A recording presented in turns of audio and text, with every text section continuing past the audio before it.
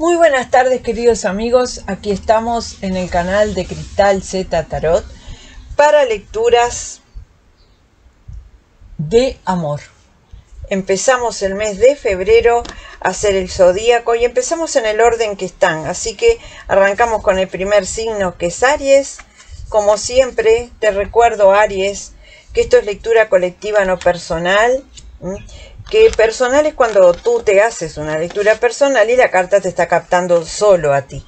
Pero en este caso estamos captando un grupo, por lo tanto tú debes usar tu inteligencia, tu intuición para poder discernir cómo ubicar lo que yo estoy leyendo en forma generalizada en tu historia personal.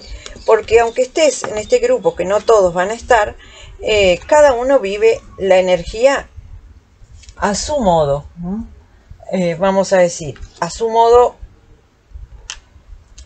personal y único, es decir, con historias distintas, personajes distintos. Si no te encuentras en esta lectura, puede que eso suceda, puede que sí. No todos van a estar aquí porque captamos un grupo por vez. Vas al canal, sección eh, videos y te fijas allí hacia atrás lecturas tuyas. Puedes estar en cualquiera ya que esto es tarot evolutivo, energía cuántica y esto significa que em, esta energía cada uno la maneja a su velocidad y a su forma. También busca tu ascendente y tu luna y esta lectura a su vez les va a servir a otros signos que tengan ascendente y luna en Aries. Bueno, acá hablamos de amor y afectos, no exclusivamente temas de pareja, sino amores en general. Puede abarcar la pareja, pero puede abarcar otros temas. Si a ti te interesa, yo tengo un canal que es exclusivo para temas de parejas, alma gemela, persona especial, etc. Eh, si no lo conoces, vas aquí abajo en los comentarios, me pides y yo te dejo el link. Bueno, vamos a ver qué dice. Mira, aquí tenemos el colgado. Me dice que te sientes como atado o atada en este periodo, te vas a sentir un tiempo más como que no tienes posibilidades de encontrar un amor, tal vez porque estés muy ocupada con algunas cosas, porque no le estés dando mucho corte. El amor no viene a golpear a tu puerta, ¿no? Eh, simplemente eh, nos encontramos con él en algún lugar, hay que salir, está en el mundo. Bueno, tal vez este momento es difícil, las salidas no se están dando mucho, tú no tienes ninguna actividad en donde puedas conocer personas, es posible, y sientas que se te hace difícil. Pero bueno, vamos a ver, nada es imposible. También puede ser que te estés sintiendo así en cuanto a otras relaciones, que no estés pudiendo conectar, no estés pudiendo llevar a cabo lo que te gustaría con personas queridas que aprecias. Bueno, es propio del momento, Aries, pero esto ya pasará. Vamos a ver, aquí está la recomendación. La recomendación no es nunca un decreto, pero habría que tenerlo en cuenta porque si te lo recomienda la carta, que capta la energía universal, sería lo mejor para que saques el mejor provecho de esta lectura. Me dice que te tienes que planificar un poco. Estás dejando que las cosas vayan, marchen, y en cuanto a los sentimientos, o relacionarte con personas queridas, te tienes que mover tú. Eso me dice. Bien, aquí entonces tenemos lo que viene del año pasado hasta ahora. Bien, eh, aquí la carta del mundo nos dice que estuviste cerrando algunos ciclos, algunos ciclos que puede tener que ver con relaciones que dejaste atrás, personas que dejaste atrás, que pueden ser todo tipo de cosas, porque pueden ser relaciones que no te servían, relaciones que no te hacían feliz, cortaste con alguna relación o con alguna ilusión que tenías sobre alguna relación. Y te encerraste en ti mismo, en ti misma, ¿ves? Aquí te encerraste en ti, el ermitaño. Vamos a ver lo que viene de afuera.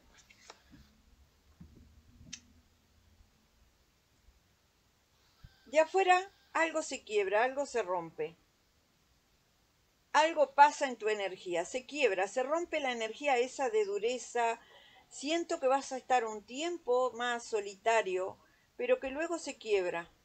Se quiebra algo energéticamente, ese tiempo de soledad, y las cosas empiezan a cambiar. Empiezan a verse más posibilidades de que conozcas gentes o tal vez de que algunas relaciones, algunos criterios que tú tenías sobre personas cambien y te arrimes a esas personas. Tal vez habías confundido un poco algunas cosas y algunas relaciones que, que podían ser muy buenas en tu vida, no necesariamente de pareja, amistad, de familia, lo que sea, las tenías en un criterio equivocado y eso ahora se rompe porque, ves, te aproxima un destino.